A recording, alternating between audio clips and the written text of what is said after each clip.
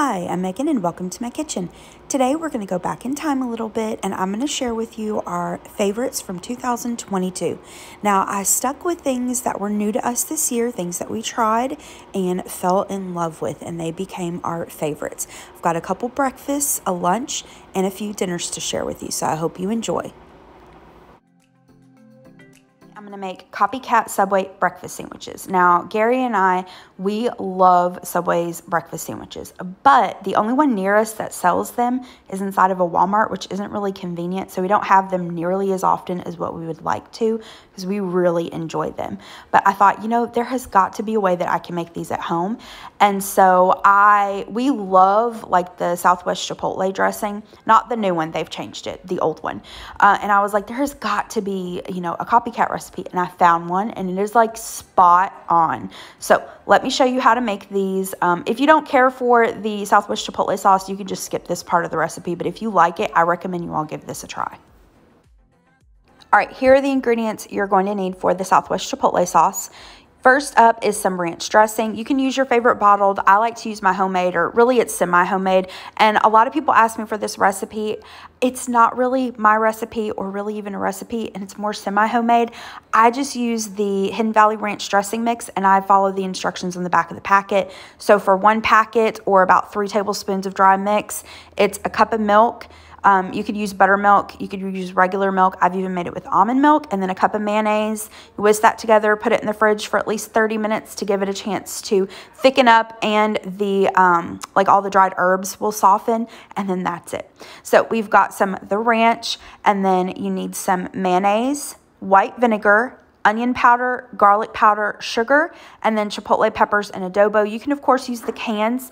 I like using this jarred, though, um, because I don't use a whole can at once, and so you can just um, put this in your fridge, and they're already chopped up for you. To make this sauce really easy, we're gonna add everything to a blender. Uh, for stuff like this, I have this little Hamilton Beach blender. I got this years and years ago at Walmart. I'll try to find something similar uh, and link it down below on Amazon. It's great for stuff like this or for like individual smoothies. So again, just adding everything. We're going to add the ranch, the mayonnaise, the vinegar, onion powder, garlic powder, sugar, and then the chipotle peppers. Now this sauce does have a kick to it. Um, if you're kind of more sensitive to spice, you can cut back like half the amount of chipotle peppers. I'm just going to whiz that up and then I kind of scrape down the sides and then whiz it for just a couple more seconds. And that's it. Super, super easy. You are going to chill this in the fridge and the recipe said this will keep up to two weeks. So that's kind of cool. You can make it once and use it on all kinds of things. Now, I am going to put it in this little squeeze bottle. I just got this at Walmart. I think it was like 95 cents, 98 cents, something like that. All right, so for the sandwiches themselves. Now, I've mentioned before on my channel that my husband, when it comes to sandwiches and burgers, he pretty much likes everything but the kitchen sink. when we go to Subway, he gets almost every ingredient. Um, so there's quite a few ingredients here for his sandwich, but just use what you like. You do not have to use all of these by any means. When we have the breakfast sandwiches at Subway, we like getting it on their flatbread. I don't know what kind or brand they use, but the closest thing I could find to it were the Stonefire Artisan flatbreads, the rectangular shaped ones. And it was actually really close to what Subway uh, serves, we felt like. Next, you'll need some eggs. You just scramble up a few eggs. Um, Subway makes what they call, I think, omelets. So I just uh, whisked together a couple eggs and cooked it in a nonstick skillet. Um, I did feel like the eggs were a little on the thick side, though. So next time, I think I'll, I'll only um, use one egg to make it. And then for the toppings, I've got some ham, pre-cooked bacon, pepper jack cheese, some banana peppers, black olives, sliced bell pepper, cucumber, tomato, and then some baby arugula and spinach. And then, of course, we have the Southwest Chipotle sauce that we made earlier. So to start out, I took the flatbreads and I cut it in half. So I got two sandwiches out of one piece of bread.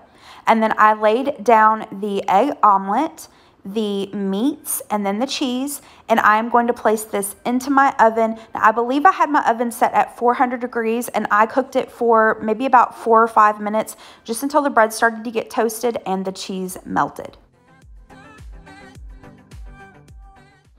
Once it's there, you're going to remove it from the oven and then add your toppings. Now, like I said, for my husband, I pretty much added everything that I showed you. I did add everything that I showed you rather for my husband's. For my sandwich, I like it much more simple. I just added some of the arugula and spinach, the sliced tomatoes, and then I'm gonna add some of the Southwest Chipotle. And yes, we like quite a bit. So I was generous with that Southwest Chipotle. And then all I did was fold it over. And like I said, you can kind of see in the picture of our plates where the bread started to crack a little bit on me. And that was because my eggs were a little on the thick side. But I served this with just some orange smiles. And these sandwiches were so good. Like I said, if you like Subway's breakfast sandwiches, I recommend you give this a try. And it's so much cheaper to make this at home rather than going to Subway. Like I said, out of this package of flatbread, I could get four breakfast sandwiches. And these are super, super hearty and filling. If you have one of these sandwiches for breakfast, you probably won't feel like lunch. These are delicious. First up, I made strawberry cream cheese danishes. I've never made danishes like this before. This was my first time trying it and they were delicious. I'll include a link to the recipe that I used in the description box below. I did kind of change up the cream cheese mixture, which I'll explain that in just a little bit, but here are the ingredients that I used. You'll need some powdered sugar, brown sugar, crescent rolls, I've got some strawberry cream cheese, some strawberry jam. You can use strawberry jam, jelly, preserves, whatever you've got or prefer. I'm using some homemade strawberry jam that my Aunt Kathy made. I've got some milk and butter. I've got my oven preheating to 350 degrees. I'm going to start out by making like the crescent roll heart shapes. So I'm taking some of the crescent rolls, as you can see, I've got two triangles here. I'm pinching that perforated edge together and then rolling it back up, but I'm going to leave out just a portion of the crescent roll dough that I don't roll up, if that makes sense. I'm going to do the exact same thing to two other rolls and then put the flat pieces together just like this. I know it's a little weird to explain, but as you can see here, you basically have a rolled end on each side and then kind of a flat side in the middle. And then using a serrated knife, I'm going to cut these into equal pieces. I'm going to place one of the little pieces onto a greased cookie sheet lay the little crescent roll on there and then for the little flat end you just want to kind of pull that down to form uh, just basically a heart shape. So just kind of use your fingers play around with it. It doesn't have to be perfect but you're just making a little heart shape. And once you've got the overall heart shape done you want to take your fingertips and kind of make a dent in the middle of the heart where you're going to put in your filling. In this bowl, I've got some melted butter. I'm going to add a little bit of brown sugar to that give it a stir and then you can brush it. I just spooned it, um, but you just want to put it over the crescent roll dough. Now for the cream cheese portion, the recipe calls for you to combine powdered sugar, vanilla, softened cream cheese, and strawberry jam. You can totally do that, but I had a couple tablespoons left of this strawberry cream cheese on hand and I needed to use it up. My husband really loves to take Triscuits, just the plain Triscuits and dip it into uh, strawberry cream cheese as a snack. And so he had pretty much eaten this whole container. But like I said, we had a couple tablespoons left and I wanted to use it up. So that's what I'm going to use. I'm just going to add the cream cheese on there, spread it around. And then we're going to add the strawberry jam, spread that around. And then this is going to go into the preheated oven and you'll bake this for about 15 to 17 minutes until the crescent rolls are golden brown. Now you can serve these just like they are. I like to add a little bit of a drizzle and the recipe called for it. You just mix together some powdered sugar and milk, stir it until it's dissolved, and then just drizzle it over the danishes. Here they are finished. These were delicious. They were so, so good. And it really surprised me because I tried cream cheese danishes a long, long time ago, but they were just like the plain cream cheese danishes and I didn't care for it. So I really didn't think I would like these. And I was wrong. These are delicious. They were so, so yummy. So I really recommend that you all give these a try. They were easy to put together. They were delicious. And if you don't want to fool around with making, you know, the heart shapes, you could totally just skip over that and just press the crescent rolls down add your cream cheese, add your strawberry, and they'll still be cute and festive. And best of all, like I said, delicious.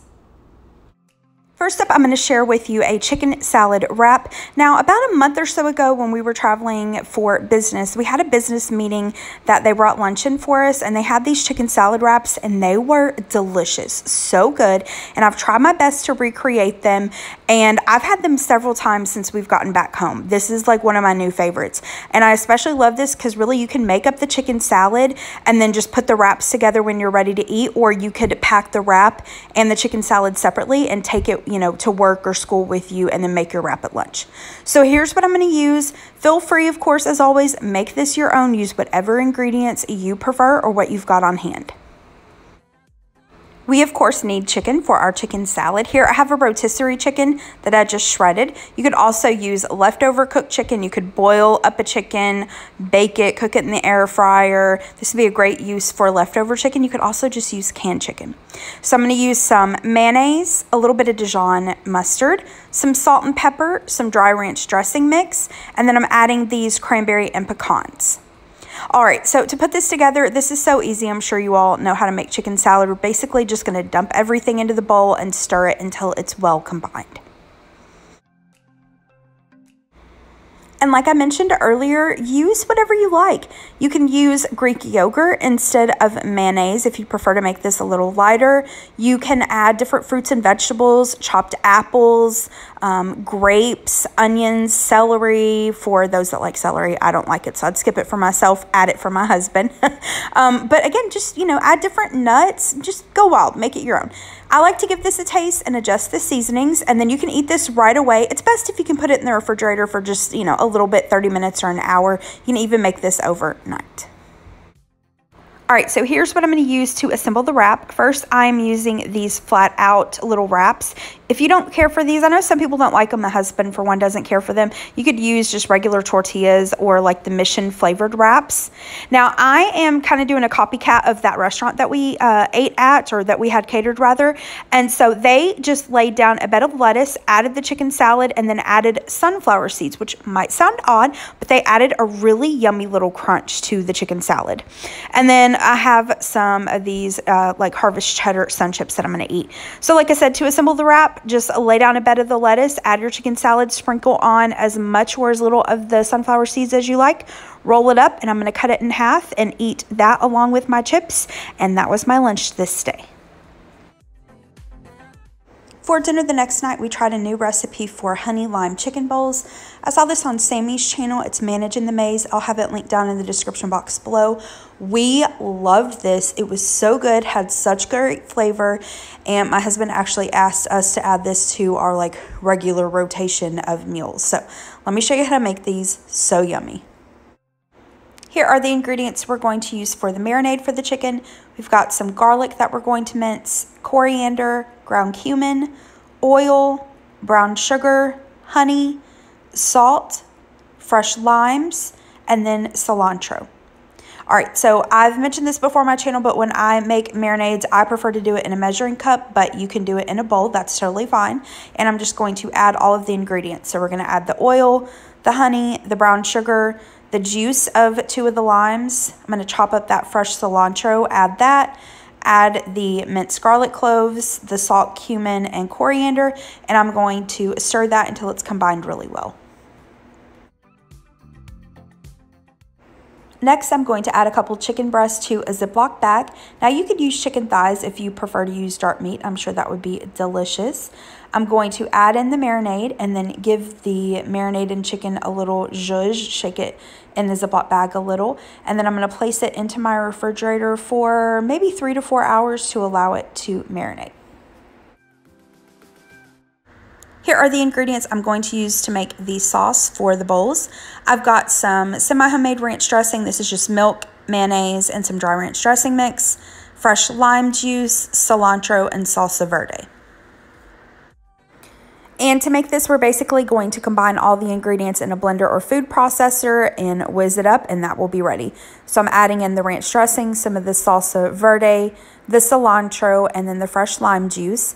And I think I missed a couple of ingredients. I just forgot to set them out. Like I think Sammy used fresh garlic and maybe something else. But like I said, I'll have her video linked down in the description box below. Even without the ingredient or two that I missed, this was really good. So like I said, I'm just adding those ingredients. I'm going to um, whiz it or pulse it. It just doesn't take very long at all. Basically, you're just combining everything. And then I'm going to place this into the refrigerator until I'm ready for it for dinner. I'm also going to make some cilantro lime rice. Now you can use the rice in the packets. I like to use my rice cooker. I've mentioned my rice cooker before, many times before my channel. I don't know if I've mentioned this though.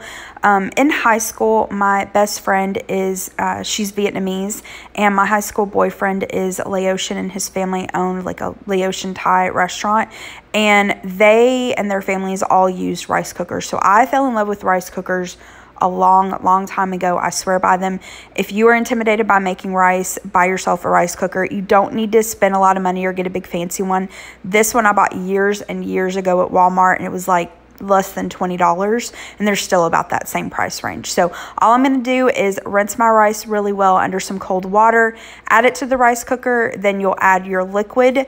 Um, in this case, I added some water and chicken bouillon powder. I'm going to add some of the cilantro that I've chopped up, some of the fresh lime juice, salt. I'm going to cover this with a lid and then just turn it to cook. And when it's done, it will flip from cook to warm. To cook your chicken, you could grill it, bake it, cook it in the air fryer. I'm just cooking it in a skillet. So I've got a little bit of oil and butter in this skillet. It's over about medium heat. Once it's hot, I'm going to add in my chicken. And I cooked this for about five minutes on each side. How long it takes to cook really ultimately depends on how big your pieces of chicken are. As you can tell in this picture, one of my pieces are a little bit bigger than the other. So that one took a couple extra minutes to cook. You just want to cook it until it's at least 165 degrees internal temperature. Here's the finished chicken. I did allow it to sit for about 10 minutes before I sliced into it. And I don't know if you can tell from this picture, but it looks like it's a little bit burnt. It's it's not really burnt. Remember in that marinade we put honey and garlic and so that's going to caramelize, but those little like really caramelized bits are some of my favorite. They're so delicious. All right, so here's everything that I'm going to use for the bowls. I've got a can of black beans that I rinsed and drained. I have some corn here. You could use fresh corn, canned corn. I have some of the Trader Joe's roasted corn. I thought that would be yummy, so I just allowed that to thaw. And then we've got some guacamole, pico de gallo. Of course, you could make your own homemade. For this night, though, I kept it easy. I just bought store-bought. We've got some of that cilantro lime rice, some extra cilantro, and then we have that homemade uh, ranch dressing that we made earlier. And last but not least, I have some shredded cheddar cheese. Now, I pretty much stuck to the same toppings or, uh, you know, add-ins, fixins, whatever you want to call it for our bowls as what Sammy used, but make this your own. Use whatever you and your family like. All right, here are the finished bowls. All I did was lay down the rice and then arrange the toppings on top and then put a little dish with the dressing so that we could use as much or as little as we wanted. And like I said, this was so incredibly delicious. We had tons of leftovers and I made uh, burritos the next day for lunch. They were super, super yummy. This was delicious. I really recommend you all give this a try. For dinner the next night, I tried a new recipe for herbed chicken sliders. This recipe came out of this Better Homes and Gardens magazine. This is the January, February um, 2022 edition. My dad gets lots of magazines, and after he reads through them, he'll bring them over to my husband and I, and always thumb through them. And this just looked so delicious and super easy and it was so let me show you how i made these i will try to find this recipe um, if it's linked online and put it down in the description box below for you I'm going to start by making the patty mixture. To this bowl, I'm adding some ground chicken. And then the recipe called for, I believe, fresh basil and fresh parsley, but I didn't want to buy fresh basil and fresh parsley just for this recipe. It wasn't enough to substantiate buying it for me, so I just used dry. It still turned out delicious. Next, I'm going to add some grated Parmesan cheese, then some salt and pepper. I'm going to add some minced fresh garlic, Next, I'm going to combine the mixture really well. Handling raw meat doesn't bother me. I just make sure to wash my hands really well. If it bothers you, you can use gloves or you could use a spoon or spatula. So once it's combined really well, I'm going to just eyeball the mixture into about as equal amounts as I can get it and then form my patties. Now I did make these a little large because the ciabatta rolls were large.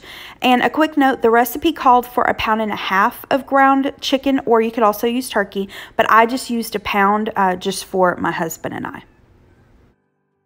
Here are those ciabatta rolls. I got these at Walmart. I was going to butter these and toast them, but then I remembered that I had this Chef Shamy garlic butter on hand, so I decided to use that instead of regular butter. So I just melted some of that up, brushed it on the ciabatta rolls, and I'm going to toast these over about medium heat. Here are those toasted ciabatta rolls. That Chef Shamy butter on these were so, so good. All right, I'm going to cook up my chicken patties now. I've got my skillet over about medium heat. I'm going to add a little bit of oil and then add the chicken patties to my skillet. I cooked these for about five to six minutes per side. You just want to make sure you cook them until they're at least 165 degrees internal temperature. Once the chicken's done, we're going to add our sauce. The recipe calls for marinara sauce, but I had this jar of pizza sauce in my fridge that needed to be used up. So I added it to the small saucepan and just warmed it up on about low heat while the chicken cooked. So I'm adding some of that sauce to the chicken patties. I'm going to add a sprinkle of Parmesan cheese a couple slices of provolone cheese, and then I'm just going to allow this to cook for just about a minute or two until that cheese melts. Here's a picture of our plates. I added the chicken patties to our toasted buns, and then I made some quick side salads using things that I needed to use up. So we've got some spring mix, goat cheese crumbles, some dried cranberries, roasted pecans, and then some balsamic vinaigrette. This was delicious. It was so good. It was so fresh tasting, but those chicken patties and with the sauce, they had so much flavor. I'll definitely be making this again, and I recommend you all give this a try. For dinner the next night, I tried another new recipe for Korean beef bowls. This recipe was actually sent to me by one of you. Her name is Christy. And if you have any recipes that you would like for me to try and show on my channel, please email them to me. My email address is listed in the description box below. Christy, thank you so much for sending this to me. This was delicious. My husband especially, he kept raving about it and it was so, so easy. And y'all, this dinner, it takes like 15 minutes to put together. No lie.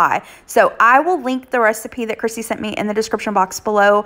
Definitely give this a try if you like Asian food. It was so good. So in this skillet, I'm going to add in the oil. I'm going to turn the skillet on about medium heat.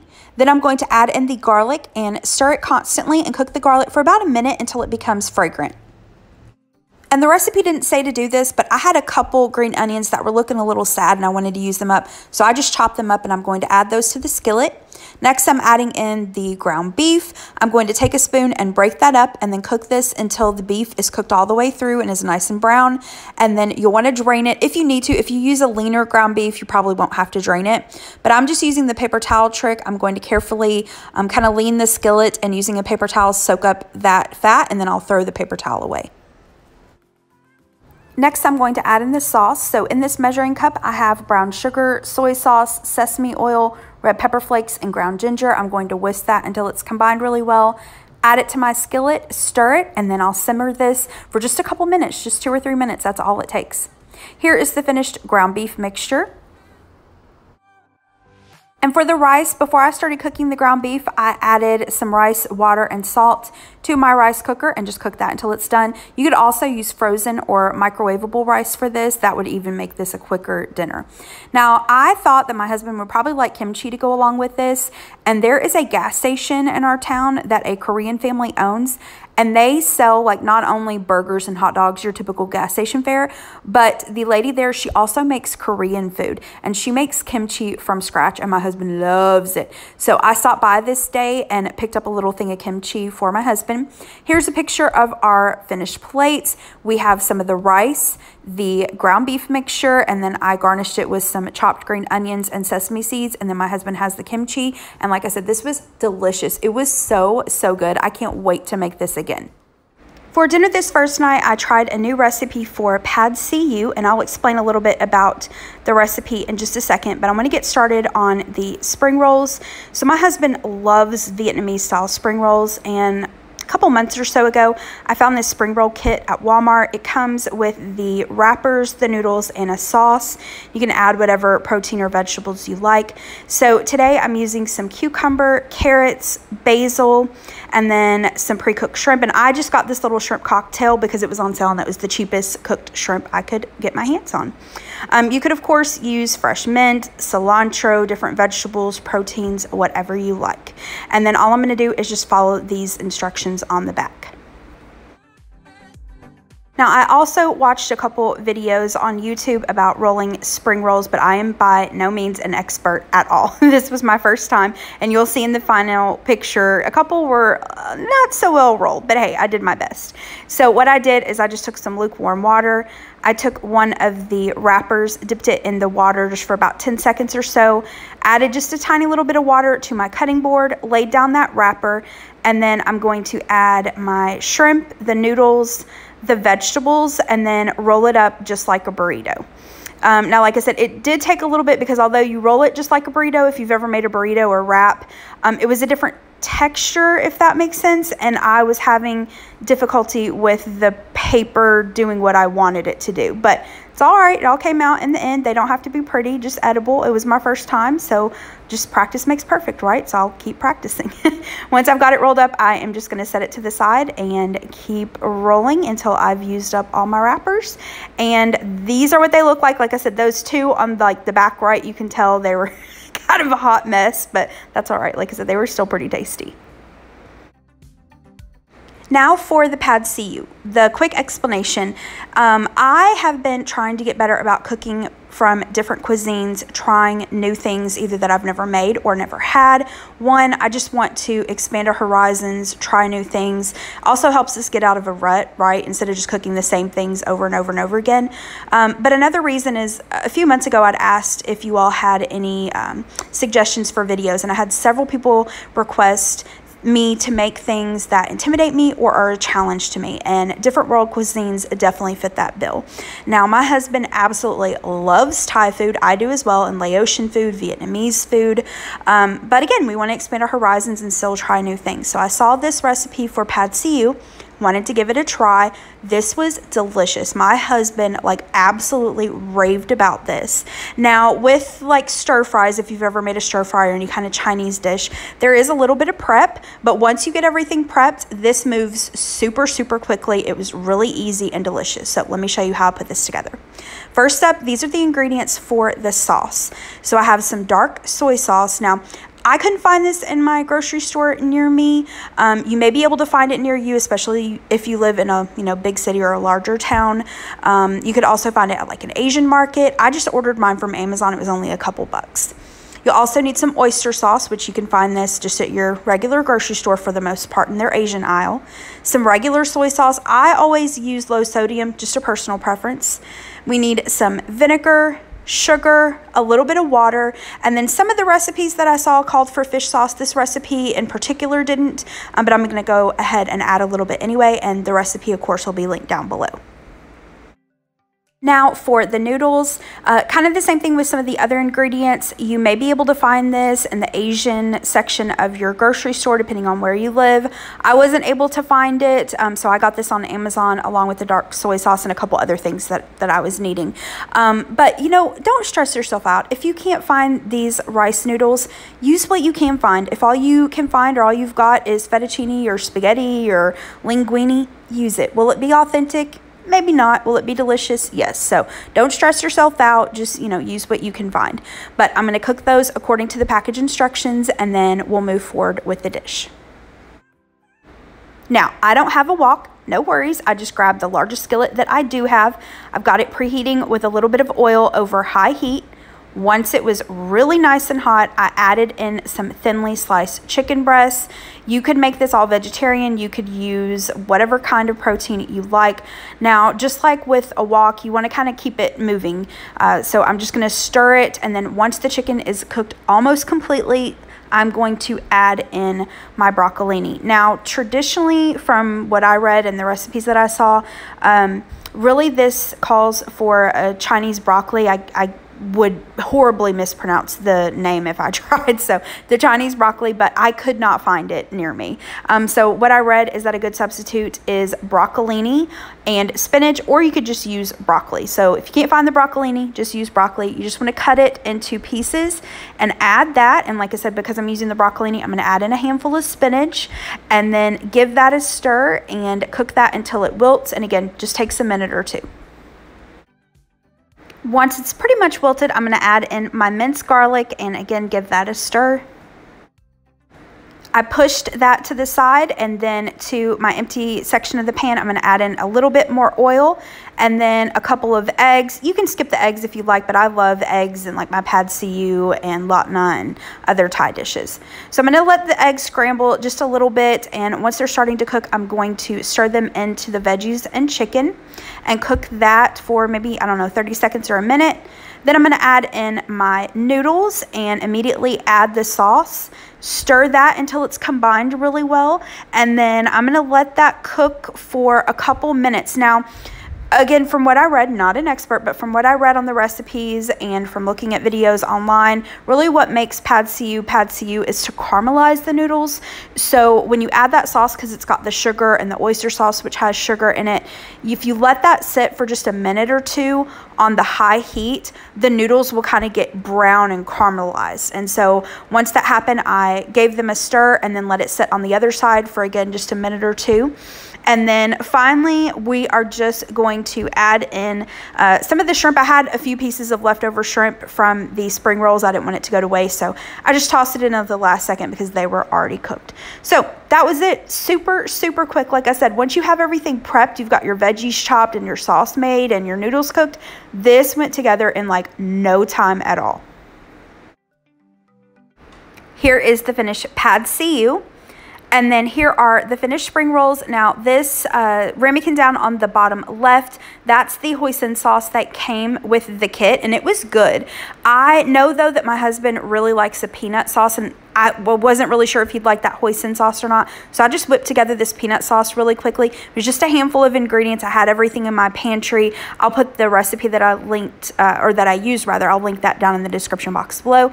Here are the plates. This was so delicious. It was fun to try something new. And you know what? I was really intimidated. Um, Thai food, for whatever reason, intimidates me. I feel like, I, I, maybe that's because I feel like there's always a lot of ingredients or steps or what, but this was actually really easy. Like I said, just chop the chicken and the veggies and cook the noodles and put this all together, but it just went together so quickly. So if you all like Thai food, or maybe if you've never had it, I really recommend you give this recipe a try. It was delicious. For dinner the next night, I tried a new recipe for slow cooker Korean beef tacos. We absolutely love these. Highly recommend. This recipe is from Six Sister Stuff. So here I've got a sirloin steak. I'm going to cut it into thin slices and toss it with some cornstarch. And then I'm going to place it into a crock pot liner that I sprayed with some cooking spray. Next, I chopped up some onions and sprinkled those over the beef.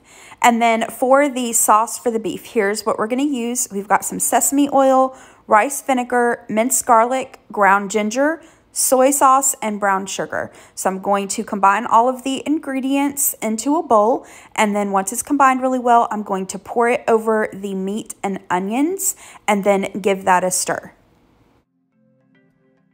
Here's what it looks like at this point. I'm going to place my lid on it and you can cook this on low for six to eight hours or you can cook it on high. I did it on high for three to four hours, but I did go in about every hour or so and give it a stir. To go along with these, I decided to do some sweet potatoes. So in this bowl, I've got some sweet potatoes that I washed really well, peeled them and cut them into chunks. I'm going to add some brown sugar, salt and pepper, smoked paprika, garlic powder, cumin, and cayenne pepper. And I kind of loosely followed a recipe. I'll have it linked down in the description box below. I toss these sweet potatoes with a little bit of oil and all of those seasonings.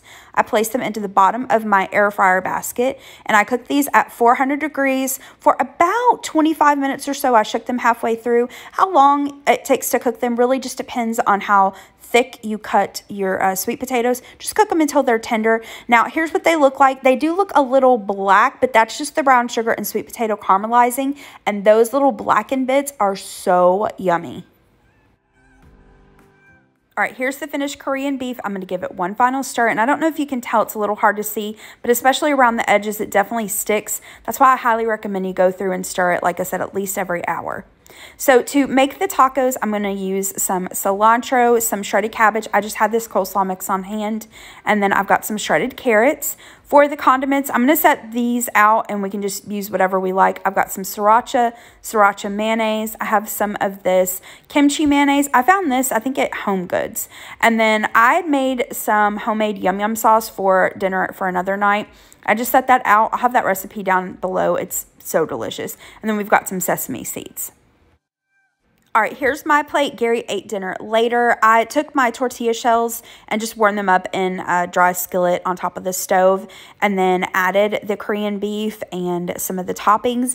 And these were delicious. We'll definitely make them again. So, so good that is it for today's video. Thank you so much for watching. Hope that you liked this video. If you did, hit the thumbs up button below and subscribe to my channel if you're not already. And I hope you have a happy and safe new year.